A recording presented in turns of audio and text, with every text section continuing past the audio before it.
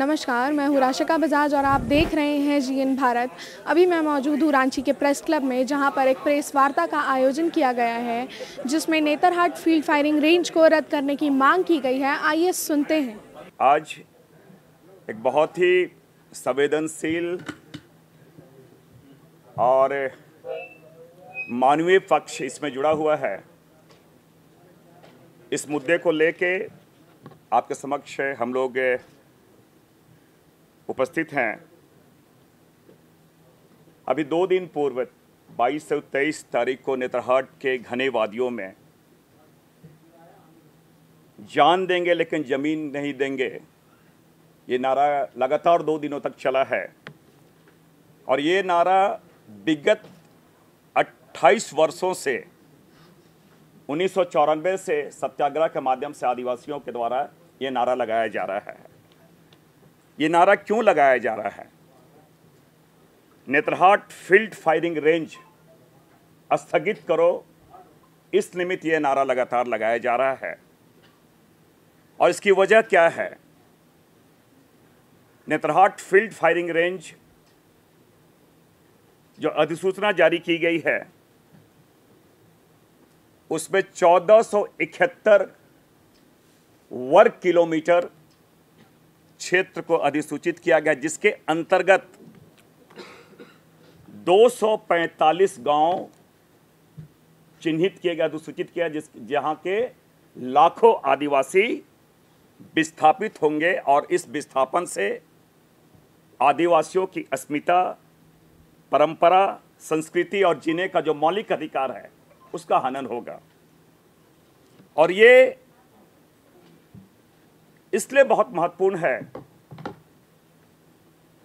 जो जीवंत दस्तावेज़ है भारत का, संविधान संविधान के अनुच्छेद 21 का, ये घोर उल्लंघन है जहाँ संविधान के अनुच्छेद 21 में किसी भी व्यक्ति के जीने का और उसके निजी स्वतंत्रता का और गरिमा को सुनिश्चित करता है और उसका ये घोर उल्लंघन कहीं ना कहीं से है। मैं एक बात थोड़ा स्पष्ट कर देना चाहता हूँ, क्योंकि ये फ़ील्ड फायरिंग रेंज सेना से जुड़ा हुआ मसला है। तो सामान्यतः चर्चाएँ या बहुत सारे एक परसेप्शन बना देता है लोग कि आदिवासी लोग सेना का विरोध कर रहा है। मैं आपको स्पष्ट कर दूँ, इसी जहाँ जो अधिसूचित क्षेत्र है, गुमला कि डुमरी प्रखंड के अंतर्गत जारी जारी प्रखंड जो है, वहाँ का वो पहला मरणोपरांत, जो सेना का सर्वोच्च पदक होता है, परमवीर चक्र उसे प्रदान किया गया है। और अभी हाल के दिनों में कारगिल युद्ध हुआ तो उसी अधिसूचित क्षेत्र के गुमला से तीन तीन सेना सैनिक अगस्तु सेक्टर जी हैं विश्राम उराव जी हैं बुधन मुंडा जी है, जिन्होंने अपनी शहादत दी है। और आज भी उस क्षेत्र के असंख्य लोग सेना में कार्यरत हैं। तो इसलिए मैंने इस बात को कहा कि ये किसी सेना का विरोध नहीं है। सुरक्षा हमारी सबसे देश के लिए बहुत आवश्यक है। लेकिन जो नीतियाँ बनाई गई हैं, उसके खिलाफ सरकार के विरुद्ध आवाज़ है। इसके पूर्व भी राष्ट्रीय विकास में ये सो जो माइनिंग क्षेत्र है, कोयला हुआ, लोहा हुआ बॉक्साइट हुआ, और साथ ही साथ इंडस्ट्रियलाइजेशन के माध्यम से या इंफ्रास्ट्रक्चर डेवलप करने के लिए ये बड़ी बड़ी जो परियोजनाएँ बनाई गई हैं, उसमें सबसे ज़्यादा आदिवासी उससे विस्थापित हुए हैं। और मैं इसलिए इस बात को कह रहा हूँ कि संविधान का कहीं ना कहीं उल्लंघन हो रहा है, क्योंकि यह क्षेत्र पांचवी अनुसूची का क्षेत्र है। और पांचवी अनुसूची में जिसमें स्पष्ट ये संविधान में अस्थायी उपबंध है। आर्टिकल 370 अस्थायी उपबंध था। यह तो अस्थायी उपबंध है।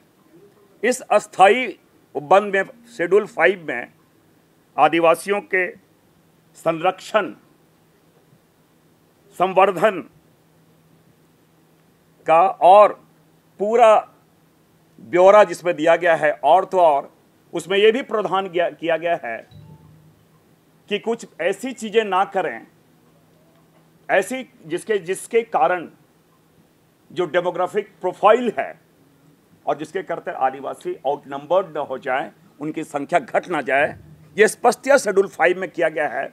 लेकिन इस परियोजना से जहाँ लाखों लोग डिस्प्लेस हो जाएँगे तो संविधान के आर्टिकल 21 फिफ्थ शेड्यूल का एक घोर उल्लंघन है। और सबसे बड़ी बात है इसमें शेड्यूल फाइव में गवर्नर महामहिम को जो शेड्यूल फाइव और संविधान के कस्टोडियन हैं, जिनको ट्राइबल एडवाइजरी काउंसिल जनजातीय सलाहकार परिषद के माध्यम से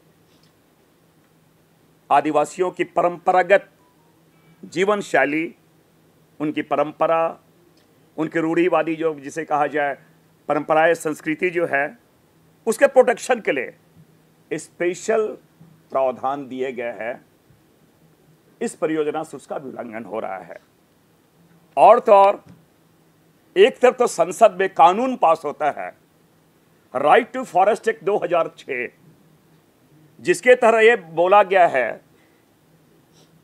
कि जो कॉलोनियल रूल थे, जो औपनिवेशिक वन में जो अधिकार थे, उसको खत्म करने के बाद जो परंपरागत रूप से सदियों से जो लोग वहाँ निवास करते रहे स्पेशली ट्राइबल्स आदिवासी, उनको न केवल व्यक्तिगत बल्कि सामुदायिक जो परंपराएँ हैं, उसका भी अधिकार दिया गया है। और जो नोमैडिक ट्राइब है, वो वहाँ के जो फॉरेस्ट प्रोड्यूस है, उनका भी पूरा अधिकार दिया गया है। लेकिन जहाँ 245 गाँवों से अगर विस्थापित आप कर देंगे तो ये सारे प्रावधानों का कहीं न कहीं उल्लंघन है।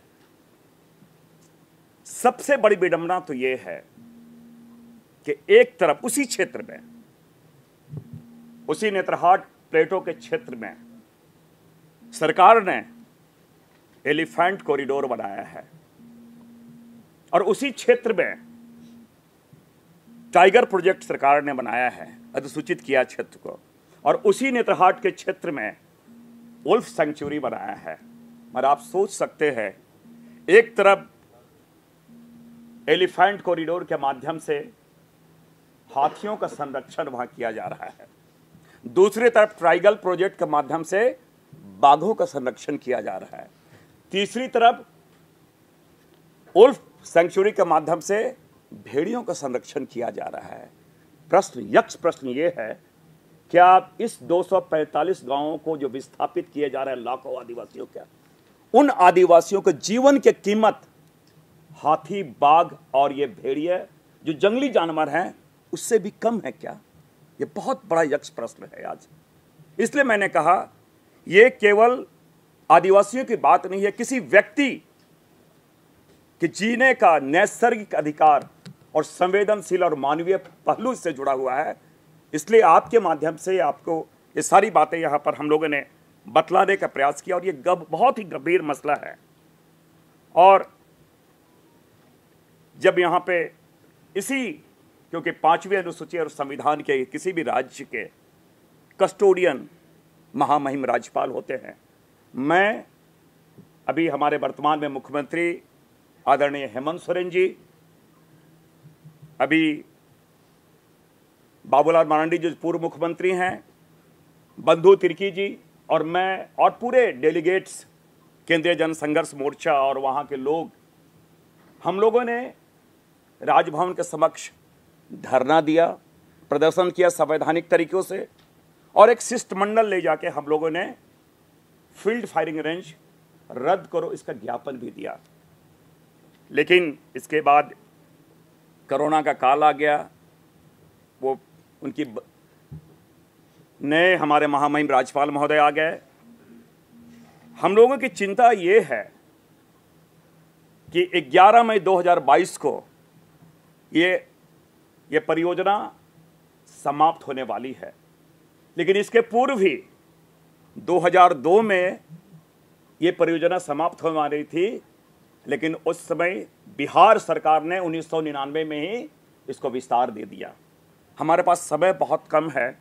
फिर से अगर ये विस्तार दे देती है तो 245 गाँवों के, चौदह सौ इकहत्तर वर्ग किलोमीटर के आदिवासियों का विस्थापन का जो दंश झेलना पड़ेगा, और दंश ही नहीं झेलना पड़ेगा, और सरकार के संवैधानिक प्रावधानों का जो घोर उल्लंघन है जो विडंबना है जो विरोधाभास है, इसलिए आपके माध्यम से हम लोगों ने ये सारी चीज़ें पब्लिक डोमेन में लाने का प्रयास किया है।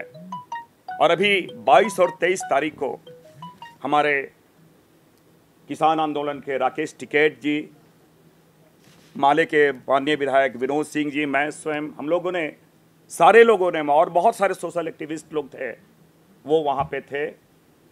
और वहाँ पे 245 गाँवों के ग्राम प्रधान, क्योंकि फिफ्थ शेड्यूल है, कहीं न कहीं पेशा कानून भी अप्रत्यक्ष रूप से अगर लागू है तो ग्राम सभा के प्रधान वहाँ ग्राम सभा में पारित किया गया है और अहिंसक तरीके से सत्याग्रह और संकल्प लिया गया है कि अप्रैल में वो पैदल मार्च करते, वही नेताहाट के वादियों से पैदल मार्च करते हुए महामहिम के पास आएँगे, सरकार के पास माननीय मुख्यमंत्री जी पास आएँगे, ज्ञापन देंगे कि इस परियोजना को अवधि विस्तार न दिया जाए। ताकि यहाँ के आदिवासियों का और वो आदिवासी नहीं, और भी वहाँ के जो मूल निवासी हैं, जो वहाँ रह रहे हैं, उनके जीने का नैसर्गिक नैसर्गिक अधिकार की रक्षा हो सके और संवैधानिक प्रावधानों का उल्लंघन ना हो। यही हमारा प्रयास है। इसलिए इस निमित्त आपके समक्ष आज हम लोगों ने सारी बातों को विस्तार से रखा है। बहुत बहुत धन्यवाद। तो आपने सुना कि इस प्रेस वार्ता में क्या कहा गया? जीएन भारत के लिए रांची से वीडियो जर्नलिस्ट सोनू पांडे के साथ मैं राशिका बजाज। अपने राज्य से जुड़ी हर ताज़ा खबरों के लिए आप हमें सब्सक्राइब करें साथ ही बेल आइकन बटन दबाना ना भूलें।